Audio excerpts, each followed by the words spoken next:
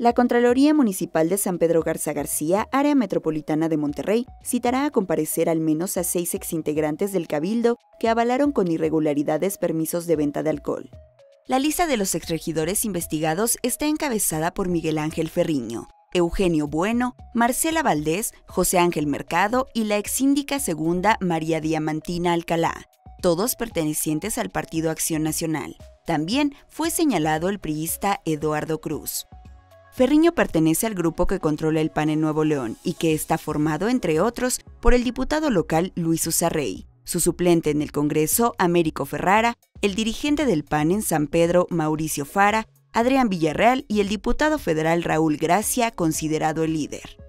En el último mes de la administración municipal del exalcalde panista Mauricio Fernández Garza, es decir, en octubre de 2018, los exregidores que integraron la Comisión de Ordenamiento e Inspección avalaron 24 permisos para expender alcohol, cuando en los meses anteriores promediaban 4.5 autorizaciones al mes.